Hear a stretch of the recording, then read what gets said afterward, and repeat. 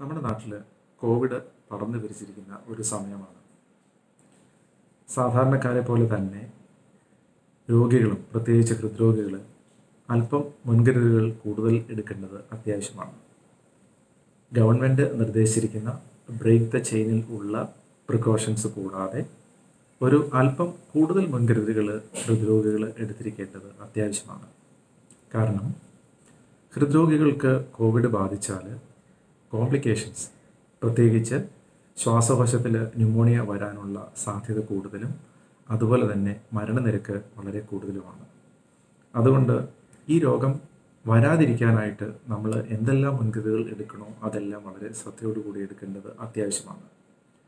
സാധാരണ വീട്ടിൽ ചെയ്യുന്ന പോലെയുള്ള ചെറിയ എക്സസൈസസ് നമുക്ക് വീടിനുള്ളിൽ തന്നെ വെച്ച് ചെയ്യാവുന്ന യോഗ അതുപോലെ തന്നെ സ്ട്രെച്ചിങ് ചെറിയ വെയിറ്റ്സ് എടുത്തു പോക്കുക. ഇങ്ങനെയുള്ള എക്സസൈസ് മാത്രമാണ് ഈ സമയത്ത് ഹൃദ്രോഗികൾക്ക് നിർദ്ദേശിക്കാൻ പറ്റുകയുള്ളൂ. അതേ സമയത്ത് വീടിന് പുറത്തിറങ്ങി നടക്കാൻ പോവുക അല്ലെങ്കിൽ ജിമ്മിൽ പോവുക ഇങ്ങനെയുള്ള വ്യായാമ മുറകൾ കഴിവതും ഒഴിവാക്കുക. അല്ല പൂർണമായിട്ടും ഒഴിവാക്കുക തന്നെയാണ് ചെയ്യുന്നതെന്നുള്ള സംശയമില്ല. എന്തൊക്കെ മരുന്നുകളാണ് ഹൃദ്രോഗികൾ കഴിച്ചുകൊണ്ടിരിക്കുന്നത്? പല സമയത്തും ഹൃദ്രോഗികൾക്കുണ്ടാകുന്നൊരു സംശയമാണ്. കൺസൾട്ടേഷൻ അടുത്ത കൺസൾട്ടേഷന്റെ സമയമായിട്ടുണ്ട്. അപ്പോൾ ഈ സമയത്ത് നമ്മൾ ഡോക്ടറെ വീണ്ടും കാണാനായിട്ട് പോകേണ്ട സമയമായി. ഡോക്ടർ കാണാതെ തന്നെ മരുന്നുകൾ തുടർച്ചയായിട്ട് കഴിക്കുന്നതിൽ എന്തെങ്കിലും തെറ്റുകളുണ്ടോ എന്നൊക്കെ പലർക്കും സംശയമുണ്ട്. സാധാരണ ഹൃദ്രോഗികളെ കഴിച്ചുകൊണ്ടിരിക്കുന്ന മരുന്നുകൾ പ്രത്യേകിച്ച് കുറേ നാളുകളായിട്ട് കഴിച്ചുകൊണ്ടിരിക്കുന്ന മരുന്നുകൾ അതേ രീതിയിൽ തന്നെ തുടർന്ന് കഴിച്ചുകൊണ്ടിരിക്കണം ആ മരുന്നുകളിൽ വ്യത്യാസങ്ങളൊന്നും വരുത്താനായിട്ട് ശ്രമിക്കരുത്. വീട്ടിൽ ബി പി ചെക്ക് ചെയ്യാനുള്ള സൗകര്യങ്ങൾ ഉള്ളവർ ഇടയ്ക്കിടയ്ക്ക് ബ്ലഡ് പ്രഷർ ചെക്ക് ചെയ്ത് നോക്കുക. പ്രമേഹമുള്ള വ്യക്തികൾ ബ്ലഡ് ഷുഗർ കൂടെ കൂടെ ചെക്ക് ചെയ്തുകൊണ്ടിരിക്കുക എന്നുള്ളത് പ്രധാനമാണ്.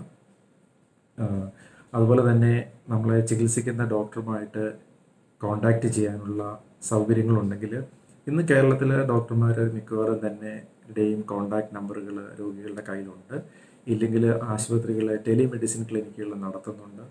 അപ്പോൾ ഈ മെഡിസിൻ ക്ലിനിക്കുമായിട്ട് നമുക്ക് ആശയവിനിമയം നടത്താനായിട്ടും അതിൽ നിന്ന് അറിവ് കിട്ടാനായിട്ടും അതിൽ നിന്ന് അതിനനുസരിച്ച് നമ്മുടെ ട്രീറ്റ്മെന്റ് അഡ്ജസ്റ്റ് ചെയ്യാനായിട്ടും അല്ലെങ്കിൽ മെഡിസിൻ അഡ്ജസ്റ്റ് ചെയ്യാനായിട്ടും സാധിക്കും. ഇത് വളരെ പ്രധാനപ്പെട്ട സംഗതിയാണ്. കാരണം മരുന്നുകളുടെ ഒരു കാലാവധി തീർന്നു കഴിഞ്ഞാൽ പ്രത്യേകിച്ച് ഹൃദ്രോഗികൾക്കും പ്രമേഹ രോഗികളും നമ്മുടെ ജീവിതകാലം മുഴുവൻ നീണ്ടു നിൽക്കുന്ന ഒരു ചികിത്സാ പദ്ധതിയാണ്. അപ്പോൾ അത് ഇടയ്ക്ക് വെച്ച് ട്രീറ്റ്മെന്റ് മുടക്കുക എന്നുള്ളത് ശരിക്കും അനുവദനീയമല്ലെന്ന് തന്നെയല്ല അത് അപകടം ഉണ്ടാക്കുന്ന സംഗതിയാണ്.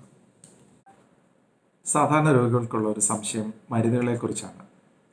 നമ്മുടെ പത്രമാധ്യമങ്ങളിലും അതുപോലെ തന്നെ സോഷ്യൽ മീഡിയയിലും ഒക്കെ ഹൃദ്രോഗത്തിന് വേണ്ടി കഴിക്കുന്ന ചില മരുന്നുകളുണ്ട്. ഉദാഹരണമായിട്ട് ഏസ് ഇൻഹിബിറ്റേഴ്സ് ടെൽമിസാട്ടാൻ ലോസാർട്ടാൻ ഓൾമിസാട്ടാൻ ഇങ്ങനെയുള്ള മരുന്നുകൾ കഴിക്കുന്നത് കോവിഡ് മൂലമുള്ള ന്യൂമോണിയ കൂടുതലുണ്ടാകാനായിട്ടും അതിന്റെ രോഗം തീവ്രമാകാനായിട്ടും സാധ്യതയുണ്ടെന്നുള്ള വളരെയധികം റിപ്പോർട്ടുകളുണ്ട്. എന്നാൽ വേൾഡ് ഹെൽത്ത് ഓർഗനൈസേഷൻ ഇതിനെക്കുറിച്ച് വളരെ കൃത്യമായിട്ടുള്ള മാർഗനിർദ്ദേശങ്ങൾ തന്നിട്ടുണ്ട്.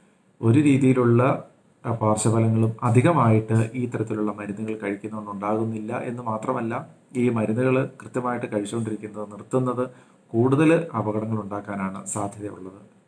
അതുപോലെ തന്നെ പല രോഗികൾക്കുള്ളത് എനിക്ക് ഞാൻ കഴിച്ചുകൊണ്ടിരിക്കുന്ന ടൈപ്പ് ഓഫ് ബ്രാൻഡ് മെഡിസിൻസ് അതേ ബ്രാൻഡിലുള്ള മെഡിസിൻസ് കിട്ടുന്നില്ല.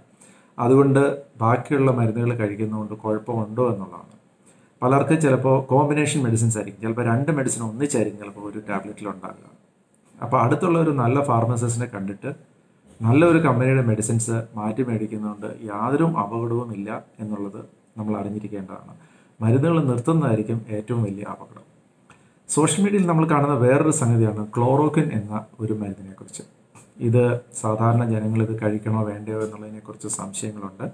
പലരും അത് കഴിച്ച് ചിലരെങ്കിലും ഇത് കഴിച്ചിട്ട് ഇതിന്റെ ഡോസ് കൂടിപ്പോയിട്ട് കോംപ്ലിക്കേഷൻസ് വന്നതായിട്ട് നമ്മൾ പത്രങ്ങളിലൊക്കെ വായിച്ചിട്ടുണ്ട്. അതുകൊണ്ട് Indian council of medical research I C M R ഇതിനെക്കുറിച്ച് മാർഗനിർദ്ദേശം കൊടുത്തിരിക്കുന്നത് ഹെൽത്ത് കെയർ പ്രൊഫഷണൽസ് അല്ലെങ്കിൽ ഡോക്ടർമാരും നഴ്സുമാരും അതുപോലെ രോഗികളെ പരിശോധിക്കുന്ന ആളുകൾ മാത്രമേ ഈ ക്ലോറോക്കിൻ എന്നുള്ള മരുന്നുകൾ കഴിച്ചാൽ മതി എന്നുള്ളതാണ് ഇതുകൊണ്ട് ഇപ്പോഴത്തെ നമ്മളിതിനെക്കുറിച്ചുള്ള അറിവ്.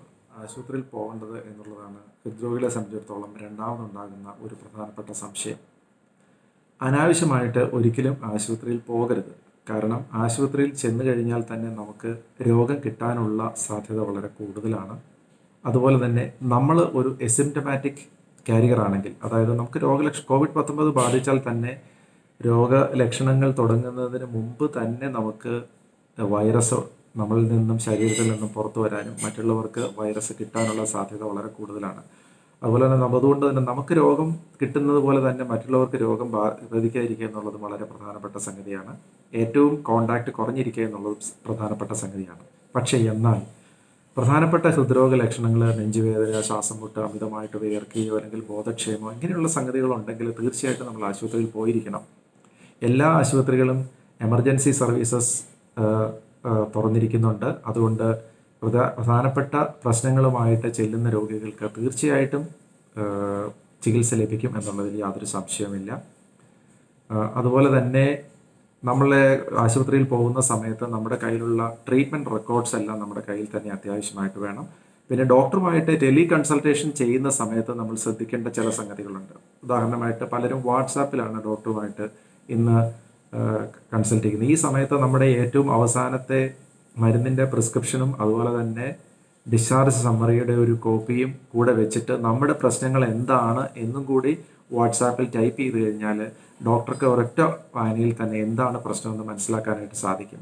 പല സമയത്തും ഫോണിൽ സംസാരിക്കുമ്പോഴേ എന്റെ പ്രശ്നം ഇതാണ് ഡോക്ടർ എന്ന് പറയുമ്പോൾ ഈ രോഗി എന്താണ് രോഗിയുടെ പ്രശ്നങ്ങൾ എന്താണെന്ന് ഡോക്ടർക്ക് ഗണിച്ചെടുക്കാനായിട്ട് സാധിക്കില്ല. അതുകൊണ്ട് തന്നെ പലപ്പോഴും തെറ്റുകൾ വരാനായിട്ടുള്ള സാധ്യതയുണ്ട്. അപ്പം ഇങ്ങനെയുള്ള കാര്യങ്ങൾ ശ്രദ്ധിച്ചു കഴിഞ്ഞാൽ നമുക്ക് വളരെയധികം പല ആശുപത്രി വിസിറ്റ്സും നമുക്ക് ഒഴിവാക്കാനായിട്ട് സാധിക്കും.